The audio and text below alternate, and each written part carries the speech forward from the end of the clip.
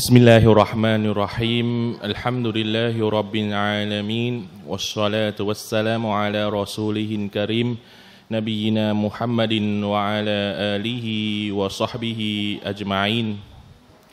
رضيت بالله ربا وبالإسلام دينا وبمحمد رسولا اللهم فقه في الدين وعلمه التعوين اللهم آمين อัสสลามุอะลัยกุมวะราะห์มะตุลลอฮิวะบะเราะกาตุฮ์ขอความสันติพระเมตตาความจำเริญความปรานีจากอัลลอฮฺสุบฮานะฮูวะตาลาจงมีแด่บรรดาพี่น้องที่รักในอัลลอฮฺสุบฮานะฮูวะตาลาทุกท่าน ก่อนอื่นนะครับก็ขอชูโกต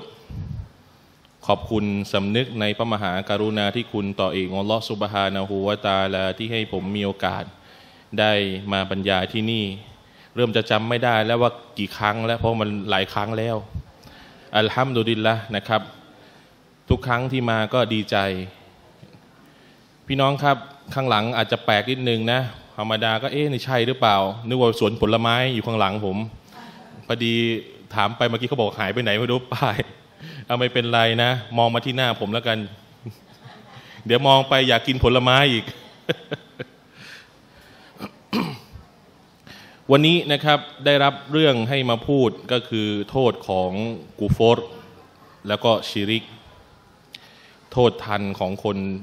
นะของการกูฟอร์แล้วก็ชิริก ซึ่งในคำเนี่ยมันมีในในหัวข้อเรื่องเนี่ยมันมีคำภาษาอาหรับอยู่สองคำ นะครับก็คือกูฟอร์แล้วก็ชิริก พี่น้องครับ เริ่มต้นนิดนึง ตั้งแต่อัลลอฮฺสุบฮานะฮูวาตาลา ให้สร้างมนุษย์นะสร้างยินมาก่อน หลังจากนั้นก็สร้างมนุษย์ พอสร้างมนุษย์มาแล้วเนี่ยก็ให้ตัวช่วยมา ให้ตามาให้หูมาให้สติปัญญามาเป็นเครื่องมือในการที่จะเรียนรู้ศาสนา ใครก็ตามพี่น้องที่ตาบอดหูหนวกตั้งแต่เกิด ศาสนาก็บอกว่าไม่วาจิบในเรื่องที่จะไปสอนกับเขาเพราะสอนไม่ได้ ตาบอดกับหูหนวกพร้อมกันเลยนะตั้งแต่เกิดเลยเนี่ยสอนไม่ได้ หรือคนที่เกิดมาแล้วสติสติปัญญาไม่มีก็คือคนบ้าหรือคนปัญญาอ่อน อันนี้เราก็ไปสอนไม่ได้ สอนไปปวดหัวเลยนะแต่ถ้าเกิดเรามีครบสามส่วน อันนี้วาจิบจำเป็นเหนือมุสลิมทุกคนต้องเรียนศาสนาอัลลอฮ์ก็ให้บรรดานาบีเนี่ยมาแต่ในระยุคแต่ละสมัย แล้วก็ประทานคำพีมานะครับ ซึ่งในยุคของเราก็ต้องบอกว่านาบีท่านสุดท้ายเป็นไซดุนบัชัรไซดุนจินในวันบัชัรเป็น เป็นนายของบรรดามนุษย์ทั้งหลายเลย แล้วก็บรรดายินด้วย เป็นนายของบรรดารอซูลทั้งหมด ประเสริฐที่สุด นั้นพี่น้องครับ แล้วก็มีคัมภีร์อันกุรอาน ซึ่งคัมภีร์กุรอานนี่พี่น้องจำไว้นะ เป็นกาลามุลลอแล้วก็เป็นอะไรด้วย เป็นมอจีซาดด้วยนะ เป็นมอจีซาดนะครับ เป็นสิ่งมหัศจรรย์ที่ไม่มีมนุษย์คนไหนที่จะประพันธ์หรือห้า หรือหาข้อข้ออะไร ข้อหักล้างกับกุรานได้เลย ในบรรดาทั้งหมดนะครับที่นบีต่างๆ ส่งลงมาเนี่ยด้วยกับภารกิจสามรายการพี่น้อง ตรงกันหมดและนุฟาริกูไบนาฮาดิมิรุสุลีในกุรานบอกไม่มีความแตกต่างกันในระหว่างบรรดารอซูลของพระองค์ ในที่นี้ก็หมายถึงในเรื่องของสามเรื่องหนึ่ง เรื่องของการทำความรู้จักกับลอสุบฮานะฮูวาตาละเราต้องรู้จักพระเจ้า ชื่ออะไรลักษณะอย่างไร คุณลักษณะเป็นอย่างไร เรียกว่ามาอาริฟะการทำความรู้จักพระเจ้าอัลลอฮฺสุบฮานะฮูวาตาละก็คือมาสอนให้เรื่องของเตาฮีดนั่นแหละทุกทุกอะไร ทุกรอซูลเลยละอิลาฮะอิลลัลลอฮ์วะฮดะฮูลาชารีกะละเนี่ยอันนี้แหละยกวักนี้แหละที่บรรดารอซูลทั้งหมดมาสอน อย่างที่สองก็คืออัลอัมรุบินมารูฟ นบีทุกคนมีหน้าที่บอกถึงคำสั่งที่อัลลอฮ์ใช้พวกเรา ซึ่งคำสั่งแต่ละยุคแต่สมัยเนี่ยเหมือนกันไหมบางที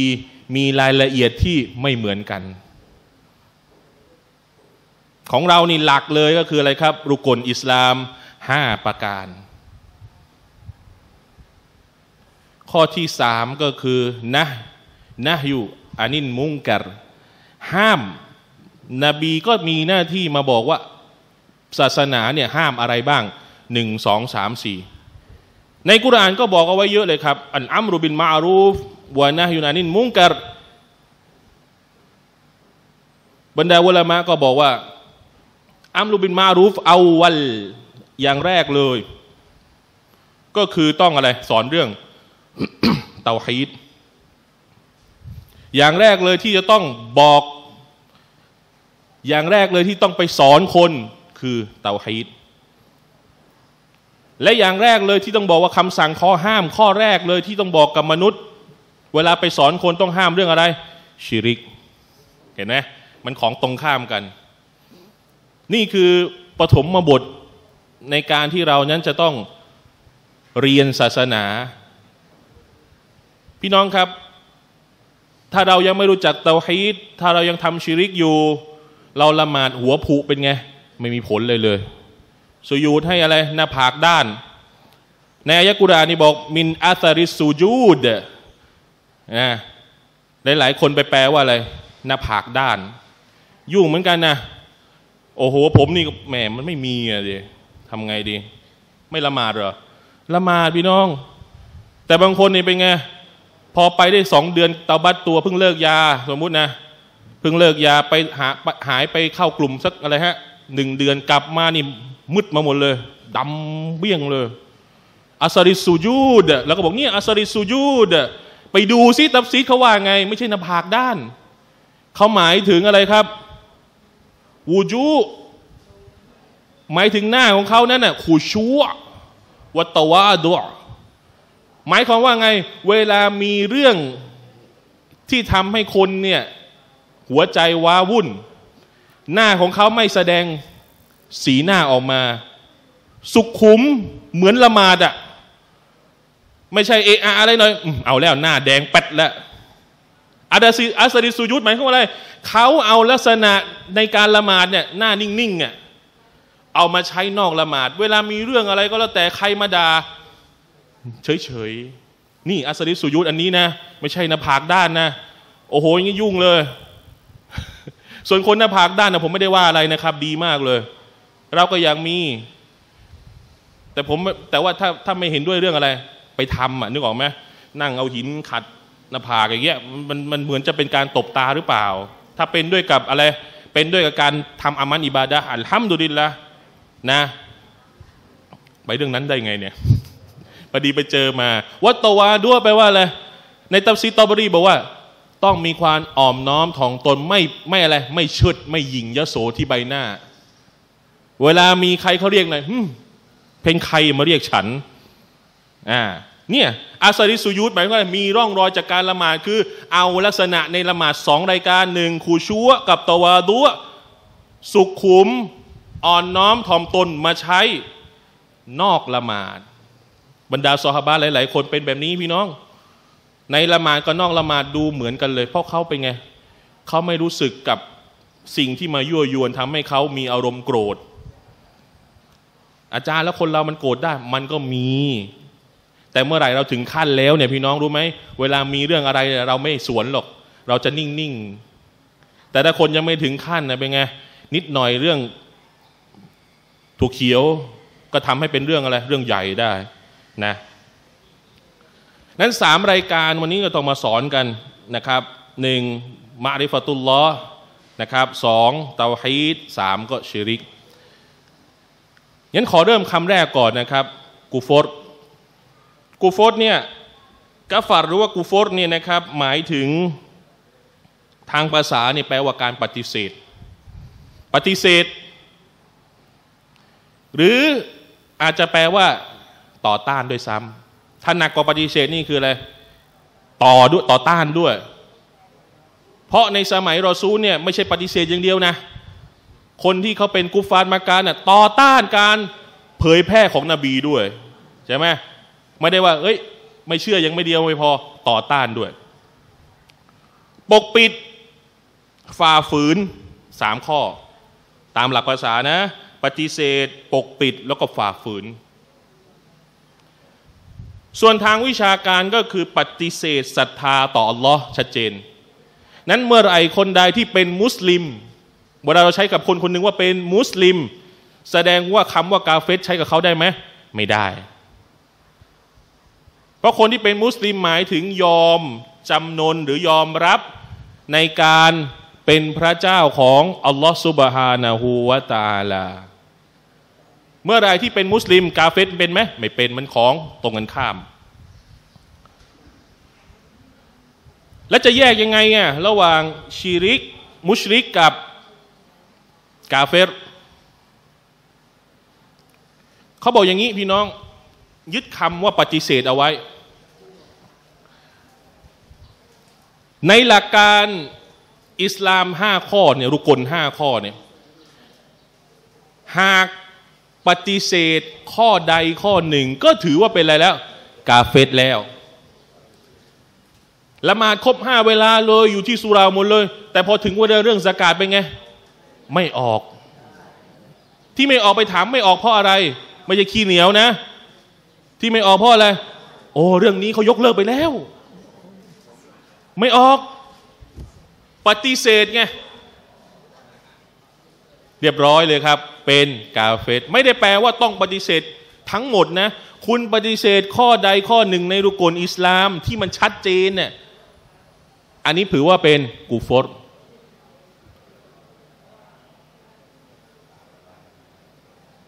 บางทีเรื่องละหมาด ไปถามว่าไม่ละหมาดล่ะ ว่าบอกอ๋อละหมาดไม่เป็นฟัดดูสำหรับฉัน เรียบร้อยเลยครับกูฟอร์ปฏิเสธการละหมาด หรือคำสั่งห้ามที่ชัดเจน เช่น ดอกเบี้ย ดอกเบี้ยนี่ชัดเจนไหมชัดเจนวะฮารอมริบาวะฮัลลอฮุลบะวะฮารอมริบาอัลลอฮ์อนุญาตในเรื่องของการค้าขาย และพระองค์ทรงห้ามในเรื่องของดอกเบี้ย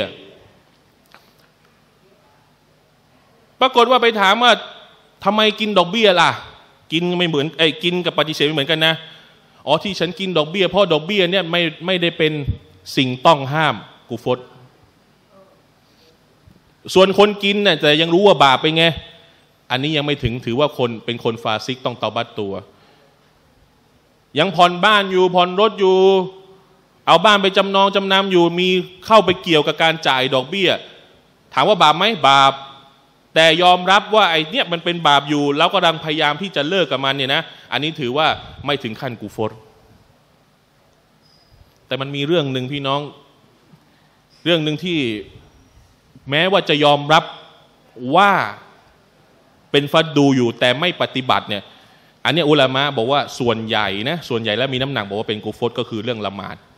ฟัดดูห้าเวลาเดี๋ยวเดี๋ยวผมมาจะมาชี้แจงอีกทีหนึ่ง นั้นสองรายการเนี่ยพี่น้องครับในเรื่องของฟิกนะในเรื่องของการปฏิบัติ อะไรก็แล้วแต่ที่อัลลอฮ์สั่งสั่งใช้อย่างชัดเจนแล้วบอกว่าไม่ไม่เป็นฟัดดูสำหรับฉันอัลลอฮ์ไม่ได้สั่งใช้ปฏิเสธแบบนี้ถือว่าเป็นกุฟตหรืออะไรที่อัลลอฮ์ห้ามชัดเจนเลย แต่แล้วเราบอกว่าไม่ได้ห้ามฮาลานนะ ไปเปลี่ยนหุกกลมของอัลลอฮ์ก็ถือว่าเป็นกาเฟต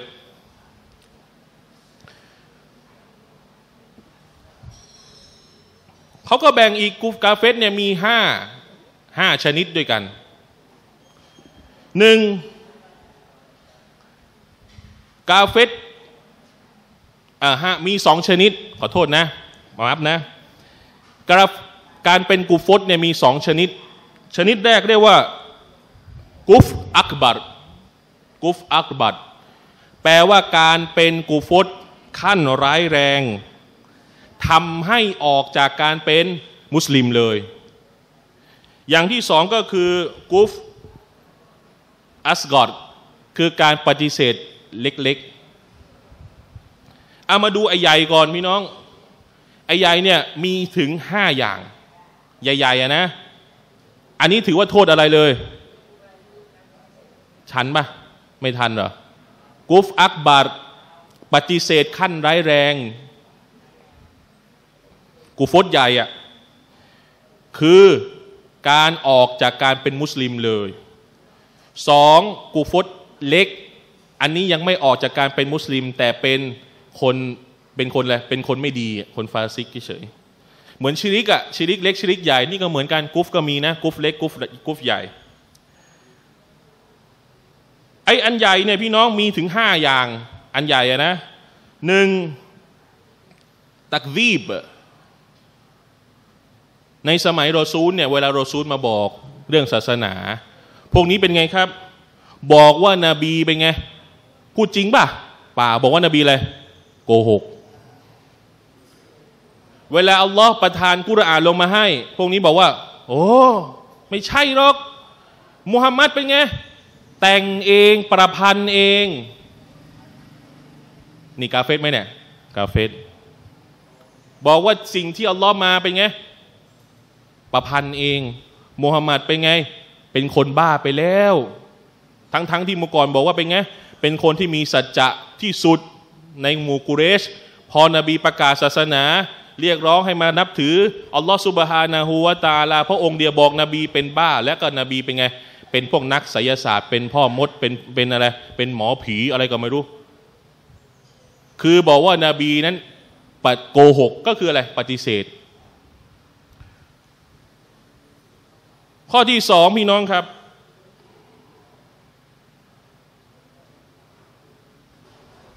กูฟตอีกประเภทหนึ่งคือรู้นะว่านบีพูดจริง รู้ว่านบีนะพูดจริง แต่ที่ไม่รับเพราะอะไรพอรู้สึกว่าเป็นไง เสียเหลี่ยมยโสโอหัง เหมือนใครอะเนี่ยลักษณะของอะไร อิบลีสใช่ไหมรู้ รู้หมดแหละที่นบีบอกอะแต่ฉันไม่รับหรอกอิสลามอะเพราะอะไร เพราะเดี๋ยวสีเหลี่ยม เสียหน้า เพราะฉันเป็นไง เป็นคนใหญ่คนโตยโสโอหังเนี่ยสมัยนบีเป็นอย่างนี้นะ บางคนเนี่ยรู้นะว่าที่นบีมาพูดจริง เห็นจะจะเห็นว่ายีซาจะจะเนี่ย แต่มันรับไม่ได้อะทำไมอะโอ้ย เดี๋ยวมันเสียเหลี่ยมฉัน ผลประโยชน์มันเยอะ ฉันจะไปยอมได้ไงอะเด็กกำพร้าคนหนึ่งตำหนินบี แม้กระทั่งพวกพวกยิวพวกคริสเองเนี่ย ที่ไม่รับนบีเพราะอะไรเพราะนบีไม่ได้มาจากบันีอิสราเอลไม่รับ บอกว่าพวกคนที่จะเป็นนบีไวนรอซูลนั่นต้องเป็นมาจากไหนบันีอิสราเอลอย่างเดียวพอบอกมาจากอาหรับไม่รับ เนี่ย แบ่งเชื้อชาติ แบ่ง เผ่าแบ่งอะไรแล้ว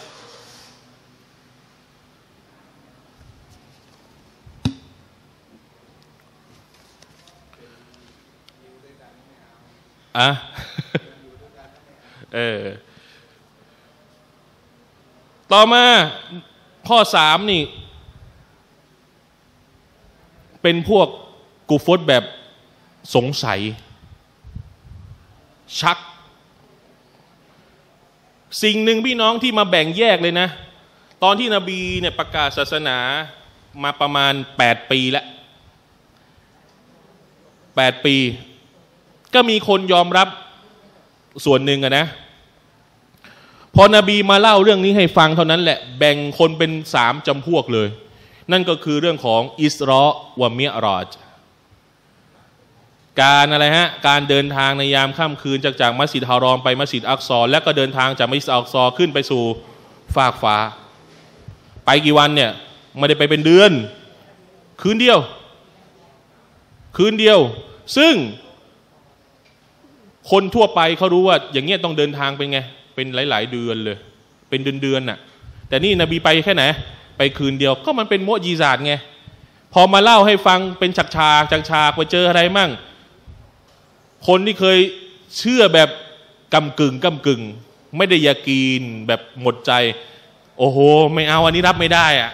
โอ้โห ไปยังไงอย่างนั้นน่ะปฏิเสธเลย แล้วก็คนที่ยากีนเลยมีไหมมีอย่างอบูบักอัสซิดดิกไงอาบูซิดดิกบอกเชื่อเลย ต่อให้จะวิเศษขนาดไหนนะ จะเล่าอะไรที่มันเกินจริงขนาดไหน ฉันก็เชื่อ นี่หัวใจของคนที่เชื่อ และอีกกลุ่มหนึ่งเกิดขึ้นอะไรครับ เริ่มไม่แน่ใจแล้ว เฮ้ย มันจะเป็นไปได้เหรอเนี่ย การไม่แน่ใจในเรื่องแบบนี้ก็ถือเป็นไงด้วย อยู่ในขั้นกูฟดเช่นเดียวกัน หรือยอมรับได้ทุกเรื่องเลยที่นบีพูดมาดี แต่ไม่เชื่อเรื่องหนึ่งเรื่องอะไรรู้ไหมการฟื้นคืนชีพ หลายๆ อายานี่โต้พวกนี้ บอกว่ายังไง มันจะเป็นไปได้ยังไงล่ะ ก็ตายไปแล้ว เน่าไปแล้ว กระดูกก็เป็นไง กระดูกก็ผุสลายไปหมดแล้ว และอยู่ดีๆพระเจ้าจะให้ฉันนั่งเงือกขึ้นมาใหม่ แล้วก็เป็นคนอย่างเงี้ยเหรออืมไม่เชื่อ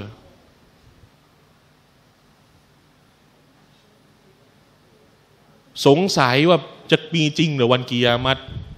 สงสัยนรกมีจริงเหรอ สวรรค์มีจริงเหรอ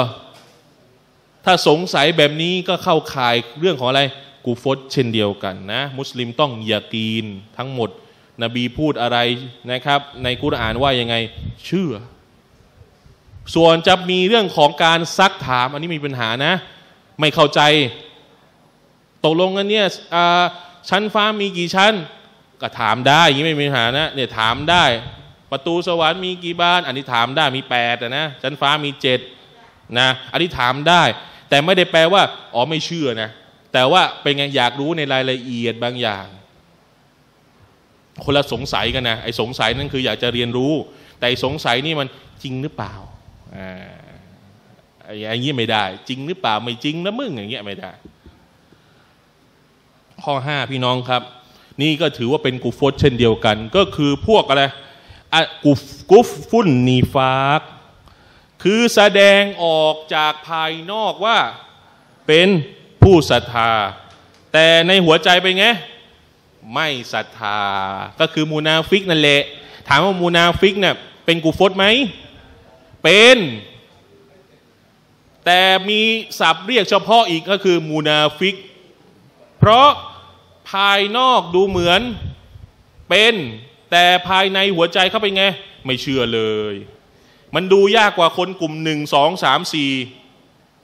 อย่างแรกชัดเจนไปเลยใช่ไหมปฏิเสธเลย อันนี้กาเฟสชัดเจน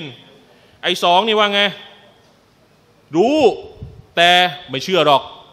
อ่านี่ก็ชัดเจนอีกสามพวกสงสัย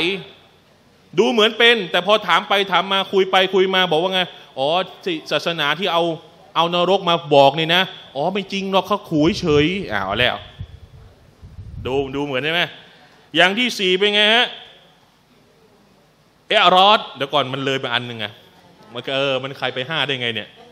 เด็กกลับย้อนไปสี่ก่อนไม่ก็ไม่บอกฉันสี่ก็คือเอรอดหันหลังให้กับศาสนาโดยสิ้นเชิงไม่ฟังไม่รู้อะไรเลย หมายความว่าไงรู้ไหมเป็นมุสลิมแค่บัตรประชาชนแต่วิถีอะไรนะ่ะไม่มีเลย พ่อแม่เป็นมุสลิมครับ ตามสัมมโนครัว รู้ศาสนาอะไรไหมไม่รู้อะไรเลย นี่ก็กาเฟสเหมือนกันแหละเพราะอะไรรู้ไหมต่อไม่เข้าข้อนี้ไม่ละหมาดเลยทั้งหมดเลยนะไม่ละหมาดเลยถามว่าเป็นกาเฟสไหมล่ะ เป็นแล้ว ทั้งชีวิตไม่เคยละหมาดเลยน่ากลัวไหมพี่น้องบางคนนี่นะ สมัยก่อนผมยกเรื่องหนึ่งเรื่องฮิยามเนี่ยย้อนกลับไปเมื่อสามสิบสี่สิบปีที่แล้ว ถ้าสามสิบผมเกิดแล้ว ถ้าสี่สิบยังไม่เกิด เอาแค่สามสิบพอ กลับไปดูรูปยอกับมะ วันนี้ยอกับมะมาด้วย ไปดูรูปยอกับมะแต่งงาน มีโต๊ะอยู่สองคนเอาผ้าพาดมาที่หัว ที่เหลือนี่หัวดำกันหมด แล้วก็เป็นไง แต่งเสื้อลูกไม้ เข็มขัดหน้า เข็มขัดทองกันมาเสื้อลูกไม้แขนสั้น แล้วก็ผ้าผ้าสิ้นมั่งผ้าไหมมั่งนะ ผู้ชายก็ใส่หมวกหมดเลย ผู้ชายนี่ใส่หมวก ใส่เสื้อกุรงสรง ผู้ชายแต่งตัวดีกว่าผู้หญิง ไอ้เราก็ถามมาสมัยก่อนแล้วเขาไม่แปลกันเลยเรื่องหยาบ บอกไม่รู้สิเขาคิดว่าจะเป็นเป็นเหมือนเหมือนกับคนอาหรับมึงอ่ายังไม่ยังแยกไม่ออกว่า อันนี้มันไม่ใช่วัฒนธรรมนี่เรื่องศาสนา เป็นเหมือนกันหมด ไม่ต้องหันไปถามใคร คือถ้าใครคุมในยุค 30 ปีที่แล้วนะ ถือว่าสุดยอดนี้เลย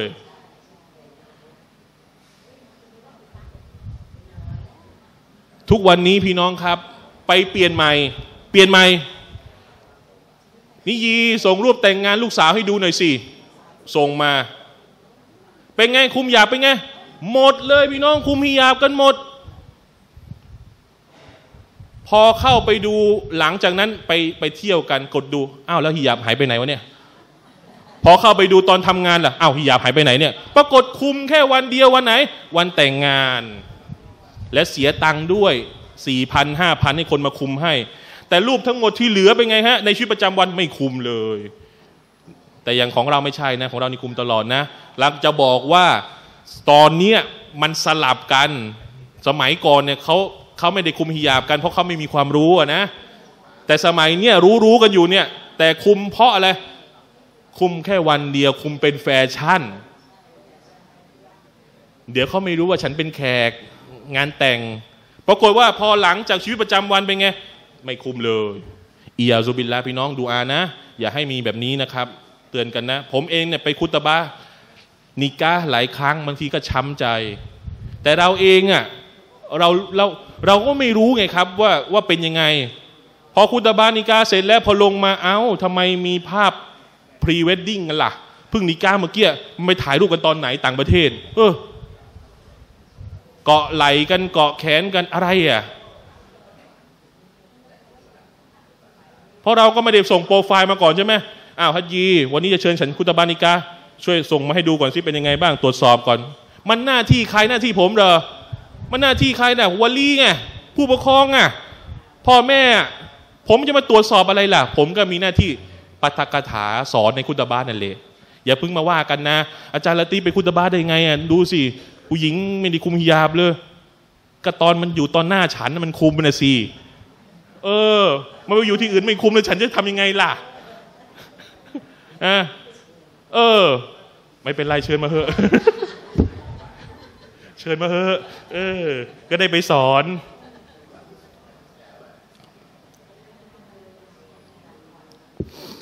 ไอไอหนึ่งจุดสี่เนี่ยหนึ่งจุดสี่เนี่ยพี่น้องนะ มีพอสมควรในบ้านเราคืออะไรครับ เป็นมุสลิมรู้ว่าเป็นมุสลิม แต่ไม่รู้เรื่องหลักการอะไรเลย ศาสนาไม่เอาศาสนาเลย อันนี้น่ากลัวนะ แล้วก็หนึ่งจุดห้า อันนี้น่ากลัวสุดๆ ก็คืออะไรดูภายนอกเป็นมุสลิมแต่งตัวอย่างดี แต่ซ่อนความกูฟตไว้ในหัวใจเรียกว่ามูนาฟิก แต่ว่าเราไปชี้หน้าด่าใครหรือว่าใครได้ไหมไม่ได้ เพราะมันอยู่ในหัวใจนะอย่างต่อมาพี่น้องครับ ทุกอย่างมีอายะกุรานหมดเลยนะ แต่ผมไม่ได้ยกเพราะอะไรรู้ไหมเดี๋ยวเวลามันน้อยยังไม่เข้าไหนเลย แค่กูฟตอย่างเดียวนี่ครับจะหมดอยู่แล้ว เอาเป็นสรุปมาอย่างนี้นะครับ อย่างที่สองพี่น้องกูฟตเล็ก นั่นก็คือเป็นบาปแต่ไม่ถึงกับออกจากอิสลามหรือออกจากการเป็นมุสลิม และไม่ได้อยู่ในนรกตลอดกาลมีโอกาสมีมีมีโอกาสขึ้นสวรรค์ คือตกนรกไปแค่ครึ่งชั่วโมง สมมุตินะ ครึ่งชั่วโมง แล้วก็ได้ขึ้น แต่ถ้ากูฟตใหญ่เมื่อกี้นะ คอลีดีนาฟีฮาคืออะไร อยู่ในอะไรอยู่ในนรกตลอดการตลอดการเลยไม่ได้ขึ้นเลยอัสกอดคืออะไรครับ หมายถึงว่าเล็กหมายถึงนี้ แปลว่า อักกตันอยู่เวลาอัลลอฮ์ประทานอะไรให้ ลืมบอกว่าไง อัลฮัมดุลิลละไม่ขอบคุณอัลลอฮ์อ๋อที่ได้มาเหรอ นับสี่ฉันฉันเก่งฉันเก่ง เอ้ยที่สอบได้อะโอ้ยฉันเก่งฉันดูหนังสือมาเยอะอ่าไม่เคยอะไรฮะ ไม่เคยนึกถึงพระองค์เลยเวลาล้อมเมตตาอะไร นี่ก็ถือว่าเป็นบาปนะ แล้วสักพักหนึ่งพี่น้องถ้าเป็นอย่างนี้ไปเรื่อยๆไปเรื่อยๆจะเกิดอะไรขึ้น มันจะเกิดความหยิ่งยโสโอหังดิเพราะคิดว่าตัวเองเป็นไงละเก่งซะแล้ว แจ๋วซะแล้ว เพราะเวลาผมสอนศาสนาอะไรก็แล้วแต่พี่น้องนะ เวลาเรามาดเนี่ย ผมหนึ่งในดูอาที่ผมจะขอก็คือ ผมขอให้คนที่ฟังผมเนี่ยเขาเข้าใจศาสนา เพราะผมต่อให้ผมพูดดีขนาดไหน แต่เขาไม่เข้าใจ ผมก็มีปัญหา ผมก็ไม่มีไม่มีไม่มีเขาเรียกอะไรไม่มีความสามารถ ผมถึงบอกไงอัลลอฮุมะฟักกิฮุฟิดดีน อย่าลลอขอให้คนพวกคนทั้งหลายนั้นเข้าใจศาสนาในสิ่งที่เรานำมาบอกมาสอน นี่คือหนึ่งหนึ่งหนึ่งในดูอาที่เวลาผมจะขอตลอดนะ นั้นเวลาที่ผมสอนศาสนาเนี่ยหลาย ๆ คนก็ชมบอกว่า อาจารย์พูดง่ายดีเข้าใจง่ายดี แต่ฉันไม่ได้เก่งหรอกอัลลอฮ์ให้อัลฮัมดุลิลละอัลลอฮ์ให้ เพราะฉันขอตลอดว่าขอให้เวลาคนที่เขามาฟังศาสนาจากฉันเนี่ยเขาเข้าใจนะ ต่อให้เราเตรียมการบ้านมาอย่างดีเลย ขึ้นกระดงกระดานเลย แต่เป็นไงอัลลอฮ์ไม่ให้ก็เท่านั้นเลย ลืมมืดละฉันก็ลืมหมดนะครับ นั้นสิ่งหนึ่งเตือนตัวเองนะ ว่าเราไม่ได้เก่งอะไรเลย เราออกมาจากท้องพ่อท้องพ่อไม่มี ออกมาจากท้องแม่แม่ออกมาท้องพ่อท้องแม่ ออกมาจากท้องแม่ด้วยกับสิ่งที่ไม่รู้อะไรเลย แล้ววันนี้เรารู้ได้ เพราะใครบอกใครสอนอัลลอฮ์บอกอัลลอฮ์สอนรอซูลเป็นคนอะไรเป็นคนนำวาฮีต่าง ๆ มาเลย มาบอกกับเรา แล้วเราก็ศึกษาขยันนะครับ เราก็ขยันในการเรียนศาสนา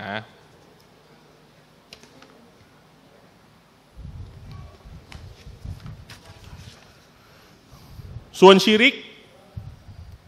ชีริกเนี่ยพี่น้องไม่เกี่ยวกับเรื่องของปฏิเสธ แต่ให้ไปดูในรายละเอียดของอามันอิบาดะหมายถึงว่าทำอามันอิบาดะครบหมดเลย ครบหมดเลยแต่ในบางอามันอิบาดะนั้น มีสิ่งอื่นนอกจากอัลลอฮ์แฝงเข้าไป ละหมาดไหมละหมาดเชื่อสัตว์ไหมเชื่อแต่ไม่ได้เชื่อให้อัลลอฮ์อย่างเดียว เชื่อพลีให้กับเทวรูปด้วย กุรบานนะทำเหมือนกันแหละ พอถึงเวลามีกูโบอะไรอะไรหน่อยถึงรอบก็ไปเชื่อสัตว์ถวายให้กับกูโบด้วย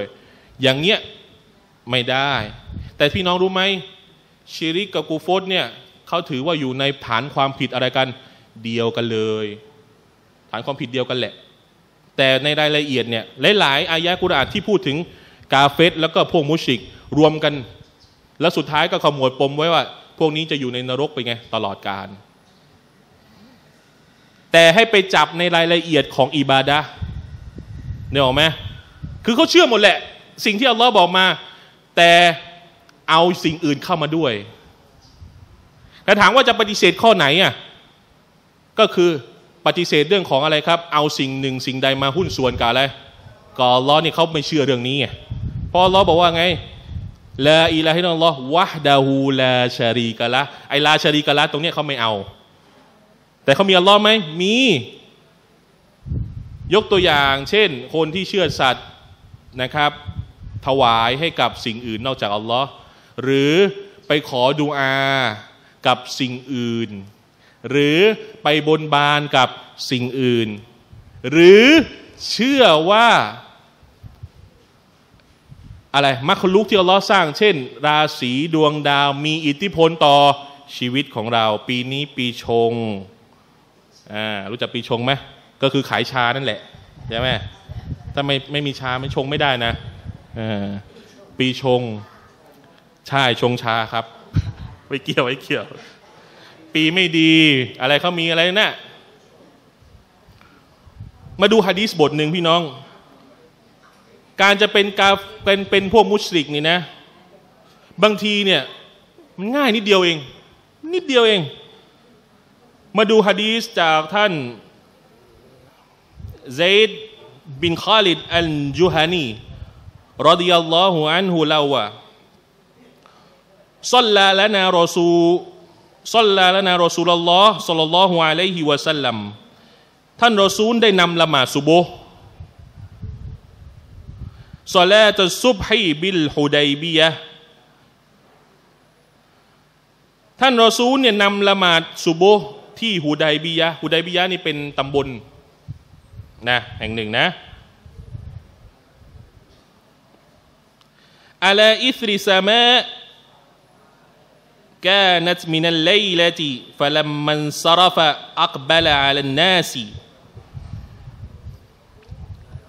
พอละหมาดเสร็จแล้วเนี่ยพี่น้องคคนนี้ไม่ใช่ลูกนะนี่คนนี้หลานโตเร็วใช่ไหมโอ้อาจารย์ไปเลี้ยงอะไรมา โตเร็วอันนี้ไม่ใช่ ลูกอยู่ข้างหลัง อันนี้หลานมาอีก อ้าว นบีละหมาดเสร็จแล้วนบีก็มีสุนนะข้อหนึ่งนะนะครับ มีสุนนะข้อหนึ่งว่าเป็นไง นบีจะหันหน้ามาทางอะไร ทางมะมุม แต่ก่อนจะหันเนี่ยให้เรา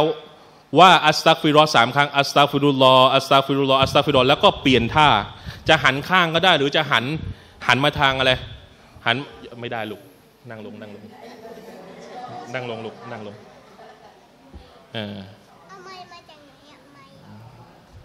นะก็หันมาบางครั้งนบีก็จะพูดสอน สอนอะไรหลังจากละหมาดเลย ปรากฏว่าสคืนวัสดีครับผมไม้มินเน็ตครับมะมีมะจ๋าอยู่เฉยๆลูกอยู่เฉยๆนะอยู่เฉยๆไม่ได้นะเอาไว้ไม่ได้อ้าวเพราะว่าคืนนั้นนะนะ คืนนั้นมีอะไรอยู่ มีร่องรอย อาซัดแปลว่าร่องรอย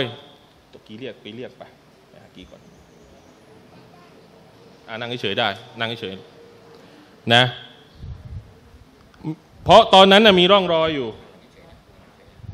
นะมีร่องรอยของอะไรอยู่ ฝนตกอยู่ นบีก็เลยหันมาบอกนะฟาลัมมาอินซารฟะอักบาลอาลันนัส หันมาถามมาบอกกับอาลันนัสก็คือคนที่ละไมครับละหมาดอยู่ข้างหลังฮันตาดารูนามาดากอลารบบุกุมกอลูนะนบีก็หันมาแล้วก็บอกว่าท่านทราบหรือไม่ว่าพระไม่ว่าพระองค์อัลลอฮ์ได้ตัดอะไร หมายความว่าตอนที่อะไรตอนที่นบีละหมาดอยู่ ก็มีเรื่องของอะไรครับวาฮีลงมา แต่นี่คือ นบีพูดเนี่ยบอกแล้วนะนบีไม่ได้พูดจากอะไร จากอารมณ์ใช่ไหมทั้งหมดที่นบีพูดนั้นเป็นวาฮีอัลลอฮ์เป็นไงดนใจให้นบีนั้นพูดออกมานะครับ เป็นวาฮีนะ ตรงนี้ก็ถือว่าเป็นฮะดีสอะไรครับเป็นฮะดีสกุดซีนะเป็นคำพูดของอัลลอฮ์บรรดารอซูลก็บอกว่าไงกอลูอัลลอฮ์วะรอซูลูอาลัมอัลลอฮ์และรอซูลเป็นไง รู้ดียิ่ง แน่นอนนะ ไม่มีใครจะรู้ดีไปกว่าอัลลอฮ์และรอซูลอยู่แล้ว ก็เลยบอกว่าอัลลอฮ์และรอซูลนั้นรู้ดี ก็ละอัสบะฮามินอิบาดี มุมินุนบีวะกาฟิรุน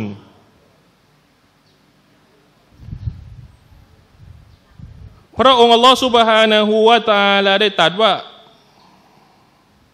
ตื่นขึ้นมาในตอนเช้าเนี่ยนี่เราห้ามพูดด้วยนะคะ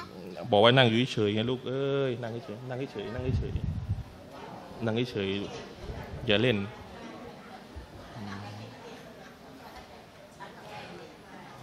นะ คือหลานผมเนี่ยจะไม่เหมือนคนอื่นเขานะอ่าไม่เหมือนลูก หลานไม่เหมือนลูก นะ ก็บอกว่าไง บอกว่าเช้ามาเนี่ย เช้ามาเนี่ยนะไอ้ฝนที่ตกเนี่ยใช่ไหมเช้ามาเนี่ยบ่าวของฉันก็คือบ่าวของอัลลอฮ์เนี่ยนะครับ เป็นผู้ศรัทธาต่อฉัน และเป็นผู้ปฏิเสธต่อฉัน ก็คือหมายความว่าไง เป็นทั้งผู้ศรัทธาแล้วก็เป็นทั้งผู้อะไรปฏิเสธนะ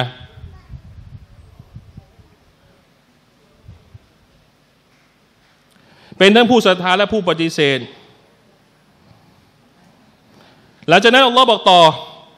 ในฮะดีษนี้เล่าให้ฟังว่าเป็นไงครับ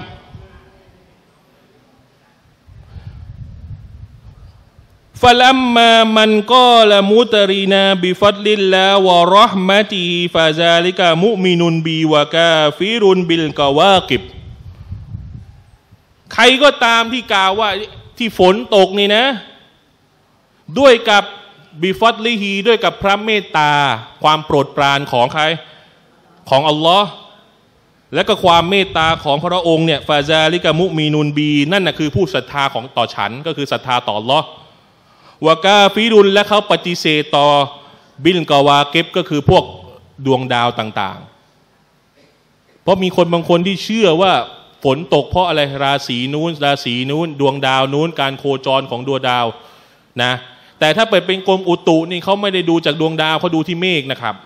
เออเมฆไม่เกี่ยวนะ เมฆนี่เป็นเป็นสาเหตุของฝน เพราะอัลลอฮ์ได้เล่าถึงเหตุผลที่ฝนตก เพราะอะไร เพราะอัลลอฮ์ได้ทำให้ มีเมฆขึ้นมาแล้วรวมกันเป็นกลุ่ม แล้วก็เป็นไงตกลงมา แต่จะให้ฝนตกไม่ตกอยู่ที่ใครอยู่ที่อัลลอฮ์สุบฮานะฮูวาตาลาไม่เกี่ยวกับพวกดวงดาวหรือราศีต่างๆว่าอัมมามันก็ละบีนาอินกะดาวะกะดาฟะดาลิกาฟิรุนบีวะมุมินุนบิลกาบิลกวากิบใครก็ตามที่กล่าวว่าที่ฝนตกนี่นะ ด้วยกับเหตุผลนี้เหตุผลนั้น ตรงนี้ก็หมายถึงว่าอะไร ดวงดาวนั้นมันมีเข้ากระจักราศีนั้นมันเข้าว่านุ่นดวงดาวมีผลต่อฝนตก เท่ากับเขานั้นเป็นไงกาฟิรุนบีปฏิเสธต่อฉันแล้วว่ามุมีนุนแล้วเขาก็ศรัทธาต่อพวกดวงดาวต่างๆ เห็นยังฮะดีษนี้บันทึกโดยอิหมัมบุคอรีฮะดีษซอฮียพี่น้องครับนะ นี่ก็คือชิริกใหญ่ นั้นพี่น้องมาดูนะว่ามีอะไรบ้างที่เข้าข่าย อยู่ไหนเนี่ยออยู่นี่อยู่นี่อยู่นี่เยอะเอามาเยอะแล้วเกิน เออคิดว่าจะมาพูดสักสามชั่วโมงหรือไง เอามาซะเยอะเชียเอออะเขาบอกว่าการกระทำที่เข้าข่ายชิริกมีดังต่อไปนี้ แต่มันจะรุนแรงอยู่ที่อะไรด้วยนะ คือแค่แค่พฤติกรรมนี่ยังบอกไม่ได้นะ แต่มันอยู่ที่อะไรด้วย มันอยู่ที่อยู่ที่อะไรครับ จิตใจของคนคนนั้นด้วย เช่น การผูกได้ผูกกำไรนะครับด้วยกับที่ข้อมือเอาสมมุติเนี่ยมีสายสินสมมุตินะ คนคนหนึ่งนึกเท่เอามาพันเล่นๆอันนี้ยังเอามาพันเล่นๆแต่บาปไหมบาปแล้ว เพราะมันไปเข้าข่ายแหละเข้าข่ายเรียนแบบศาสนาอื่น แต่ถ้าเชื่อด้วยว่าไอ้ไอสายสินนี้ขจัดโรคภัยได้ไปเลย เข้าเลยนะเพราะหลาย ๆ คนนะพี่น้องเอาไม้กางเขนนะมามาติดมาแขวนที่เสื้อเป็นวัยรุ่นนี่ตามฝรั่งใช่ไหมพอเห็นฝรั่งเขามีก็ไม้แขวนแขวนต่างถามว่าเป็นกูโฟดยังยังไม่รู้ ต้องถามว่าไอ้แขวนในแฟชั่นใช่ไหมถ้าแฟชั่นนะบาป แต่ถ้าแขวนเสร็จปั๊บยกมือไหว้ ยกมือกันเอ๊ะแล้วก็อะไรอันนี้กาเฟตแล้ว ชิริกแล้วชิริกแล้ว นึกออกยัง มันจะรุนแรงตามมาแล้วตามจิตใจที่ของเขา แต่พี่น้องรู้ไหมแค่เอามาแขวนก็บาปแล้ว บาปแล้วนะ เพราะมันเท่ากับเปิดประตูให้ชัยตอนเข้ามาแล้วนึกออกยังคือตอนแรกบางคนเนี่ยก็ไม่ได้เชื่อหรอก แต่เขาแนะนำมาก็เอามาติดตัวไว้หน่อยเห็นไหมติดตัวตายติดตัวมาเริ่มแล้วสุดท้ายแล้วชัยตอนมาอ้าวทำไมติดตัวแล้วออกจากบ้านไม่ได้ไม่สบายใจ นี่ไงไปติดอยู่นี่เรียบร้อยเลย อ้พวกยันหัวทรงหัวเสาอะไรกันแล้วตัวนะระวังให้ดีนะเออพอยันหล่นออกมาโอ้โหเป็นไงลูกร้องทั้งคืนเลย ที่ไหนได้มันปวดท้อง ไม่เอาไอ้มหาหิงทาอะไอ้นี่ก็นึกว่ายันมันมากันผีอะเดเออ อะไรก็ไม่รู้อ้าวข้อที่สองเขาบอกพวกพวกอะไรครับ เครื่องรางผ้ายันต่าง ๆ ตะกุดต่าง ๆ เอามาแขวนนี่ผิดแล้ว ถ้าเชื่อด้วยเป็นไง ไปเลย แล้วก็พวกอะไรข้อที่สามนี่ลางร้ายนะเช่นนกกลางคืนอะไรอีก บางอย่างที่ทำให้อะไรฮะเป็นการอ่าพวกนกกลางคืนลางต่างๆอะนะจิงจกทักอะไรพวกเนี้ยระวังให้ดีนะครับ ข้อสี่เสริมโชค ขอความจำเริญ สิริมงคลจากสิ่งอื่น อันนี้ชัดเจนนะ ดังนั้นเนี่ยผมกลัวอย่างหนึ่งนะเขาให้ผมเนี่ยนำของไปประมูล ประมูลในหลักการศาสนาทำได้นะครับ นบีเคยเคยช่วยคนคนหนึ่งนะแล้วสุดท้ายก็แบ่งเป็นสองเหรียญนะนะ แล้วก็ไปซื้อขวานไปทำขวานอันนึง แล้วก็ให้กับครอบครัวแล้วก็นะครับ ตอนแรกได้เหรียญเดียวแล้วนบีบอกจะใครจะให้มากกว่านี้ได้ไหมก็เพิ่มเป็นสองเหรียญดังประมูลทำได้ แต่ต้องไม่มี ไม่มีอะไร ไม่มีตัวปั่น นึกออกไหมหลาย ๆ ที่เนี่ย พี่น้องเขามีคนปั่นนะครับ คือเขาจัดประมูลก็จริง แต่เขามีคนของเขาเนี่ย เข้าไปอยู่ด้วย แล้วก็ปั่น ปั่นจนกระทั่งได้ราคาแล้วเขาก็ปล่อยไอ้นี่ก็ได้ไปไอ้นี้ไม่ได้ เออแล้วก็งงแน่ขายตามอินเทอร์เน็ต โทรศัพท์ iPhone เริ่มที่สองบาทอ๋อเหรอไปก่อนเลยดิสองบาท ถึงเวลามันใช่ไหมเนี่ยขึ้นไปเรื่อยๆจนกระทั่งบางทีเป็นไงเกือบเท่ากับซื้อที่ร้านนั่นเลยแต่มันเพราะว่ามันขึ้นเพราะอะไรมันมีคนปั่นอยู่ เออ แต่สำหรับอิสลามปั่นได้ไหมไม่ได้ อืมใครปั่นมันนี้ก็บาปมานะใครเอาคนของตัวเองไปปั่นราคาเนี่ยนะเอ้าผมจะพูดเรื่องอะไรสิริมงคลใช่ไหมความจำเริญเนี่ย มีคนคนหนึ่ง เราก็บอกว่าเนี่ยเขาจะประมูลฉันก็เลยเอาโต๊ะของฉันไปประมูล ให้ไว้สองตัว ตอนแรกก็บอกว่า อาจารย์จะบอกดีไหมว่าเป็นของอาจารย์ ผมบอกถ้าบอกแล้วเนี่ยทำให้ขายได้ก็ก็ดีนะ ผมก็อยากให้ขายได้ เพราะมันก็ไม่ได้ว่าสวยอะไรขนาดไหนเพราะใส่แล้วด้วย เสร็จปั๊บเนี่ยก็มีคนประมูลไป เพราะว่าฉันบรรยายอยู่ก็บอกว่าเอาตัวมาสองตัว ยันไม่ทันบรรยายจบกลับไปหายไปแล้ว เขาก็ถามว่าทำไมเลือกซื้อโต๊ะอาจารย์ล่ะ พอดีเนี่ยนะสมเออผมก็ไม่รู้เนี่ยจะไปให้ลูกชายเขาใส่หน่อย ลูกชายไม่ค่อยละหมาดเลย ได้ใส่โต๊ะอาจารย์ได้ละหมาดบอกไม่เกี่ยวหรอก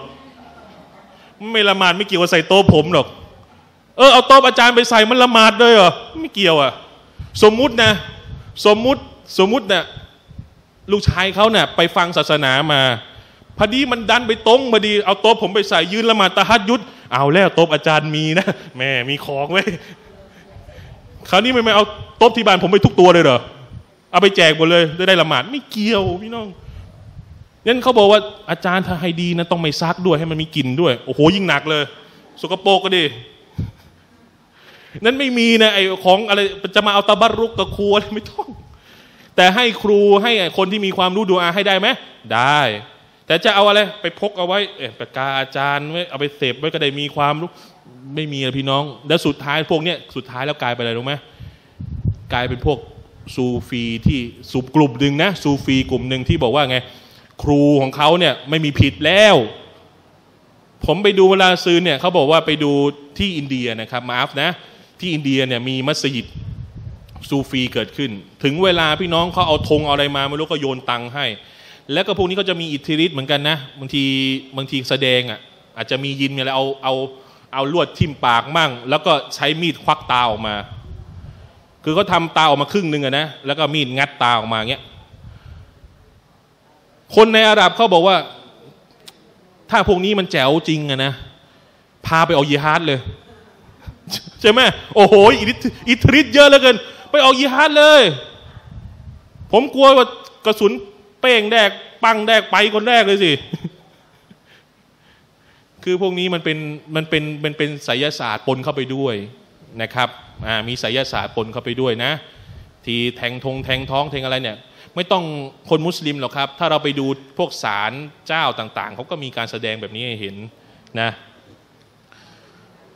แล้วก็ข้อที่ห้าพี่น้องครับ พวกไสยศาสตร์มนต์ดำใครก็ตามนะ เข้าไปยุ่งเกี่ยวกับมัน ไสยศาสตร์มนต์ดำนะ เอาแหละถ้าเกิดฟังฟังเนี่ยมันก็ไม่ดีแล้ว หรือไอ้พวกเสริมโชคชะตาเนี่ยพี่น้องใครก็ตามที่ไปอ่านหนังสือดูดวง ถามว่าบาปยังบาปแล้ว ถ้าเชื่อด้วยนี่ไปเลย เห็นไหม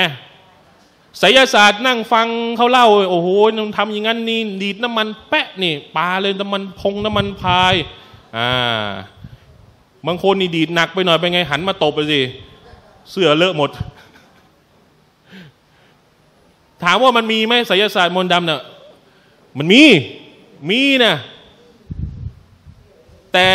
ใครก็ตามที่เข้าไปยุ่งไปเกี่ยวไปไง มันมีเงื่อนไขก็คือต้องปฏิเสธศรัทธาไง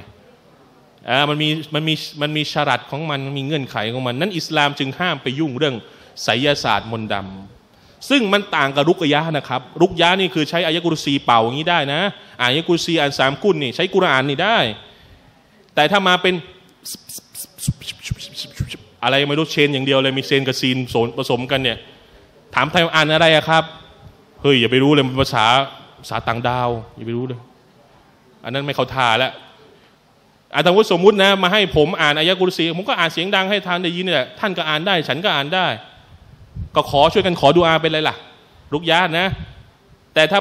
มาเป็นของพิเศษอย่างเดียวเนี่ย แล้วก็พอเราหายแล้วมีคนถามอาจารย์ ถ้าหายแล้วต้องเอาบุหรี่ไปให้ แล้วต้องเอาทูบไปให้ ต้องมีกล้วยต้องมี แล้วถามนะมันค่าจ้างหรือมันค่าอะไร ถ้ามันเอาถ้าเอาตังค์นี่มันค่าจ้าง แต่ถ้าเป็นแบบนี้แสดงว่าเกี่ยวกับยินแล้วครับ เกี่ยวเกี่ยวกับใช้ยิน แล้วก็ไม่อนุญาตนะ คือเขาจะมีเคสของเขาเนี่ยเขาเรียกค่าครูอะไรผมก็ไม่รู้นะครับ ข้อหกหมอดู อันนี้ไปหาหมอดู บางคนตามเพื่อนไปไง เออบอกว่าเฮ้ยฉันนะแม่ฉันนะอีหมาฉันแข็งแค่ตามเพื่อนไป ตามไปตามมาเพื่อนเล่าตรงหมดเลย แจ๋วหมดเลยเป็นไงเขานี่ไปดูเองแล้วเห็นไหมดังนั้นพวกนี้เนี่ยครับ ทั้งหมดทั้งมวลเนี่ยพี่น้องนะ มันมีอีกนี่เจ็ดการทำนายหรือพยากรณ์โชคชะตาด้วยกับการดูดาว นะแปดการขอฝนจากดวงดาวเก้าการพาดพิงความสุขที่ได้รับ เพราะสิ่งอื่นนะที่ไม่ใช่อัลลอฮ์นะครับนั้นทั้งหมดเนี่ยเข้าข่ายจะเป็นชิริกใหญ่ ผมไม่ได้บอกนะว่าปึ๊บเป็นเลยเนี่ยแต่มันอยู่ที่อะไร มันอยู่ที่หัวใจของคนคนนั้นน่ะแต่ แค่คุณเข้าไปยุ่งกับมันนี่ก็ถือว่าอะไรแล้ว บาปแล้วเอจตานีบูทั้งหลายทั้งหลายต้องทำยังไง ออกห่างเลยนะครับ อย่าไปยุ่งเลยนะ เพราะนี่ก็คือเล่เหลี่ยมของชัยตอนเอามาดูโทษละมาดูโทษแล้วนะ ส่วนชริกอีกประเภทหนึ่งที่น่ากลัวมาก จะเอาไปที่โทษหรืออะไรดี อะมาดูนี่นะ ชิริกเล็กนะครับ นบีบอกว่าอัควาฟูมาอัคอฟูอาลัยกุมอัชชิรกุลอัสกอรูชิริกชิริกเล็กคืออะไร สิ่งที่ฉันกลัวว่าจะเกิดกับพวกท่านมากที่สุดคือชิริกเล็ก ก็แหละนบีก็ถามถูกถามนะฟาซูอิลาอันหูนบีก็ถูกถามว่าไอชิริกเล็กคืออะไร นบีก็บอกว่าฟะกอและอริยะ ก็คือการโอ้อวด ถามว่าชิริกเล็กตกศาสนาไหมไม่ตก แต่การกระทำของเราที่มีการโอ้อวด จะทำให้ผลบุญไม่ได้ ยืนละหมาดอย่างดีเลย พอตัวอิหมัมเดินออกไปเป็นไงฮะเรากาดที่สองไม่รู้อ่านสุรายสั้นเหลือเกินเรากาดแรกนี่ยังยาว พอคนหายไปจากสุราแล้ว อือหือปึดปึดปึดปึดปึดเสร็จแล้วเพราะ ชีริกแบบนี้เนี่ยมันจะเข้าข่ายชีริกอีกอย่างหนึ่งเขาเรียกชีริกคอฟฟี่อันนึงชิคคอฟฟี่ก็คือชีริกที่มันซ่อนอยู่ ซึ่งมันมีโอกาสเกิดขึ้นโต๊ะครูก็มีโอกาส ผมก็มีโอกาสเป็นได้ นั้นต้องพยายามขัดเกลาจิตใจ นบีบอกว่าألا أخبركم بما هو أخوف عليكم عندي มีนัลมาซีฮิดดัจจัล เอาไหมฉันจะบอกกับพวกท่านถึงสิ่งที่ทำให้ที่ที่ฉันกลัวเป็นอย่างยิ่ง ที่จะเกิดกับพวกท่าน ซึ่งมันน่ากลัวกว่าดัจยานซะอีก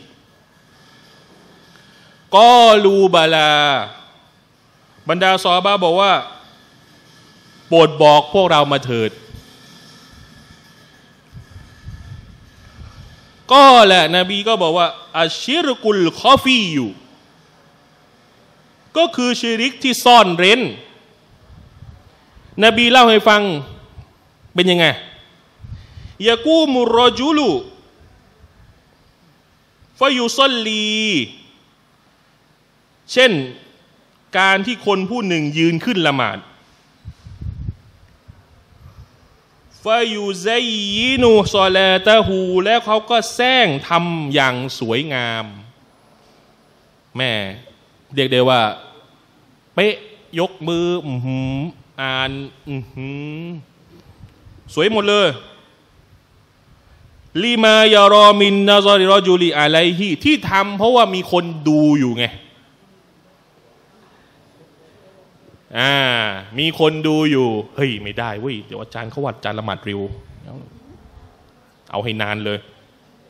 ปรากฏว่าที่บ้านนี้เร็วยิ่งกว่าฟาสอีก ฟาสในหนังอะไอ้รถรถแข่งอะเร็วกว่ารถแข่งอีก อัลลอฮ์เห็นไหมน่ากลัวชิริกนี้น่ากลัวอะปิดท้ายนะครับ อีกห้านาทีสุดท้าย ผมจะบอกถึงโทษชิริกนะ เข้าเรื่องละ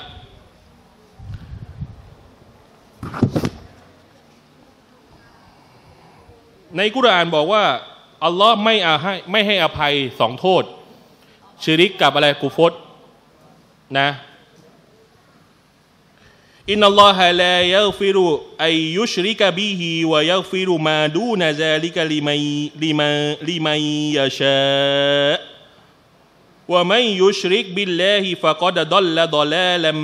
บะอีดาแท้จริงอัลลอฮ์จะไม่ทรงอภัยโทษให้กับให้แก่การที่สิ่งหนึ่งจะถูกเป็นภาคีกับพระองค์ ก็คือโทษชิริกนี่แหละครับ ส่วนกูฟตรวมไปด้วยนะ กูฟตนี่ชัดเจนอยู่แล้วมันปฏิเสธ แต่อันนี้คือทำอามันอิบาดะแต่ในอามันอิบาดะมีสิ่งอื่นเข้ามาเป็นภาคีด้วยอัลลอฮ์ไม่ให้อภัย บอกไว้แล้วนะไม่ให้อภัย แต่จะทรงให้อภัยสำหรับโทษอื่น อยู่ที่อะไรบีอินนินแลฮิจาลาด้วยกับพระประสงค์ของพระองค์ แต่โทษนี้อัลลอฮ์บอกในกุรอานเลยว่าไม่ให้อภัยนั้น คนที่ทำชีริกใหญ่นะครับ ก็คือไม่มีโอกาสได้ ขึ้นสวรรค์เลย ต้องอยู่ในตลกตลอดการ อย่างที่สองครับ ก็คือว่าความดีที่ทำมาสะสมมาตลอด จะกลายเป็นผุยผงก็คือไม่เหลือเลย ยกตัวอย่างเช่น ไปทำฮัทไปทำอุมรอไปทำมาครบหมดเลยบริจาคหมดเลย วันหนึ่งบั้นปลายชีวิตทำชีริกต่อเหรอไอ้ที่ทำมาทั้งหมดเป็นไง หายหมดเลยนะแล้วก็พี่น้องครับ สิ่งหนึ่งพี่น้องที่ในฮะดีสได้พูดเอาไว้ที่เกี่ยวกับชีริกเนี่ยและก็กูฟตเนี่ยว่าเป็นสิ่งที่จะมาแยกกันนะพี่น้อง อันเนี้ยผมว่ามันอันตรายสุดๆเลยคืออะไรรู้ไหมในฮะดีษที่บอกว่าอัลอาฮดุลเลดีบนานาวะบนะฮุมตารกุสซาลาติฟะมันตารกะฮาฟะกอดกาฟัรพันธสัญญาที่ซึ่งระหว่างเรากับเขา ระหว่างอัลลอฮ์ กับบ่าว คืออะไร ละหมาดครับ ใครที่ตามที่ทิ้งละหมาด แน่นอนเขาเป็นผู้ปฏิเสธแล้ว นี่ผมถึงบอกมีอามันอิบาดาเนี่ยอันเนี้ยแหละ แม้ว่าอุลามะส่วนใหญ่นะ แม้ว่าจะทำเพราะการเกียจค้าน แต่เจตนาในการทิ้งละหมาดก็ถือว่าเป็นกาเฟตแล้ว บาง ทัศนะที่บางทัศนะเท่านั้นที่บอกว่าไม่ตกศาสนา แต่ที่มีน้ำหนัก เพราะฮะดิษนี้ไงเนี่ยเห็นไหมอีกอันหนึ่งที่บอกว่าอะไรไบนารจูลิวะไบนาชิรกิวัลกุฟรีตารกุสซอลาข้อแบ่งแยกระหว่างชายคนหนึ่ง กับการที่เขาจะตั้งภาคีและการปฏิเสธนั้นคือการละหมาด เมื่อไรไม่ละหมาด ก็นั่นแหละก็ท่านก็อยู่อีกพวกหนึ่ง ดูไม่ยากนะพี่น้อง สมมุติเราไม่รู้เลยนะ ไม่ได้ใส่โต๊บใส่สูตรกันหมดเลย ใส่เสื้อเชิ้ตกันหมดเมื่อเวลาเขามีคนอาจารย์มีคนอีกอมะและนั่งนิ่งไม่สนใจนะพี่น้อง มันไม่แยกเลยอะ่ะเพราะกาเฟสเนี่ยเวลาเขาไดียินเสียงอาจารย์เขาไปไหมก็ไม่ไปเขาไม่ละมาอยู่แล้วจะถามว่าคนเป็นมุสลิมเนี่ยทำยังไงแต่ให้ข้อแตกต่าง เวลาได้ยินเสียงอาจารย์เป็นไงต้องหยุดภารกิจ พออีกอมาแล้วต้องเป็นไงถ้าเป็นผู้ชายก็เดินไปมัสยิด ดังนั้นพี่น้องครับ จะเป็นกูโฟสหรือเป็นชิริกเนี่ยไอ้ที่ผมเล่ามาก่อนหน้านี้นะ ผมว่าบางทีมันก็มันก็ยังเลยยังไกลตัวนิดนึงนะ แต่อันเนี้ยใกล้มากเลยก็คืออะไรเรื่องละหมาดนี่แหละท่านท่านก็ต้องให้ความสำคัญ ท่านทิ้งละหมาดเวลาหนึ่งโดยเจตนานะ โดยเจตนาว่าไม่ละหมาดแหละขี้เกียจแต่ยังยอมรับในการละหมาดอยู่นะเพราะอุลามะกลุ่มหนึ่งบอกว่าเป็นกาเฟตแล้ว ทิ้งละหมาดเวลาหนึ่ง ทำไมมามอัลมัดถึงถึงเอาความคิดเห็นอันนี้ แล้วก็ชาวฮะดิษทั้งหมดเอาความคิดเห็นอันนี้ วินิจฉัยจากนี้ เพราะสองฮะดิษนี้พูดชัดเจนมากเลย พูดถึงกระทั่งมันตรกัสลาตุนอัสใครก็ตามที่ทิ้งฟัดดูอัสรีโดยเจตนาฮาบิตอกุลลุการงานของเขาเป็นไง เสียหายหมดเลย ก็มันเหมือนกับเมื่อกี้เลยอะที่ผมบอกแล้วไงโทษของชีริกกับกูฟตเนี่ยทำความดีมาเป็นไง ความดีเป็นไงหมดหายหมดเลย ดังนั้นพี่น้องครับ แปลแบบนี้ไม่เดือดร้อนใครหรอก มันเดือดร้อนคนเดียวที่คนไม่ละหมาดไงคนละหมาดไม่เดือดร้อนหรอก อาจารย์ทำไมพูดแรงจังนะทิ้งละหมาดวักดูจะเป็นกาเฟสเลยหรอ นี่ก็เป็นกันทั่วเลยดิกับผมก็ไม่รู้อะท่านก็ละหมาดสิมันจะยากตรงไหนอะมันจะตายหรือไง มันมันจะละหมาดเนี่ย ตื่นเช้าไม่ได้หรือไง คุณจะนอนสัก ตีหนึ่งตีสองหน้าที่คุณก็คือ พอตีห้าคุณก็ตึกตื่นขึ้นมาละหมาดแล้วตอนนี้ตีห้าตีห้าครึ่งยังทันเลยพี่น้อง ตีห้าครึ่งนี่ยังไปสุราทันเลยตาฮัดยุดก็เป็นไง ตื่นตีมาตีตีสี่ตีสี่สี่สิบยังทันเลยตาฮัดยุดได้ ช่วงเนี้ยเป็นช่วงอะไรช่วงที่ทำทำง่ายอะไม่ยาก ผมเนี่ยเคยไปเจอช่วงที่ประเทศคูเวตนะ ซูโบตีสามครับ ช่วงหน้าผมจำไม่ได้หน้าอะไร หน้าร้อน หน้าร้อนนี่กลางวันมันจะยาว ตีสามกว่าซูโบแล้วพวกเราเนี่ยที่นอนดึกไงก็ไม่ได้นอนเลย อยู่ระบาดไปเลย ดังนั้นพี่น้องนะ ผมไม่ห่วงหรอกเรื่องเรื่องอื่นเนี่ยแต่ผมห่วงเรื่องนี้แหละ เรื่องละหมาดนี่แหละ เมื่อใดที่ท่านไม่ละหมาด ท่านก็ สังถามตัวเองว่าเราเป็นคนฝั่งอนุนหรือเปล่า ถ้าเราเป็นคนไม่ใช่คนฝั่งขนุนเข้าใจนะ ฝั่งขนุนฝั่งกันนี้ ถ้าเราไม่ใช่คนฝั่งขนุนถึงเวลาได้ยินเสียงอาจารย์ รีบเลยครับ แล้วก็ตัวกับผมเองเนี่ย ใช้ได้ผลแล้วคืออะไรรู้ไหมทำยังไงอาจารย์ไม่ให้ขี้เกียจละหมาด ง่ายนิดเดียว พอได้เวลาปั๊บละหมาดเลย ท่านจะไม่ขี้เกียจแต่เมื่อไรที่ท่านช้าอย่างอย่างอย่างอย่างของตัวผมเนี่ยบางทีอีชาเนี่ยไปทำธุระข้างนอก แล้วก็ไม่ได้ละหมาดพอกลับมามันมีอารมณ์เหมือนกันนะโอ้โห เริ่มขี้เกียจแล้วบางทีเนี่ยยิ่งดึกไปไงอ่าน ยิ่งไม่ค่อยรู้เรื่องแล้วเริ่ม แต่ถ้าได้เวลาละหมาดเลยนะมันสบาย แล้วเราก็รอเลยรอเวลาละหมาดต่อไปนะ เอาแบบนี้แล้วกันนะนะครับ ถ้ามีคำพูดคำจาใดพี่น้องไม่สบายใจมาอัพด้วยนะ แล้วก็พี่น้องอันนี้กำลังมาแรงเลยนะเพิ่มบุญลดบาปนะครับอะมีเยอะเหรอแม่ซื้อตอนไหนอะ อ๋อใครที่ได้รับแจกแล้วดีมากเลยครับ เพราะว่ามีคนซื้อแล้ว แต่ใครยังไม่มีนะ อ่าอ่านั่นเล่มเดียวกันเลยจ้ะนะก็เล่มละสิบบาทนะครับ มีมาให้พี่น้องได้เป็นเจ้าของด้วยนะ سبحانك اللهم وبحمدك أشهد أن لا إله إلا أنت أستغفرك وأتوب إليك وصلى الله على نبينا محمد وعلى آله وصحبه وسلم والحمد لله رب العالمين السلام عليكم ورحمة الله وبركاته เราคืออัลฮัมดุลิลลาห์เราคืออัลฮัมดุลิลลาห์จะเป็นสารทีนำความรู้ที่มีสู่พี่น้องเพื่อเรียกร้องเราคืออัลฮัมดุลิลลาห์เราคืออัลฮัมดุลิลลาห์คุณจะเป็นใครจะรวยจะจนมาแค่ไหนก็ต้องดูต้องรับรู้ kebelakangan Alhamdulillah Alhamdulillah Alhamdulillah Alhamdulillah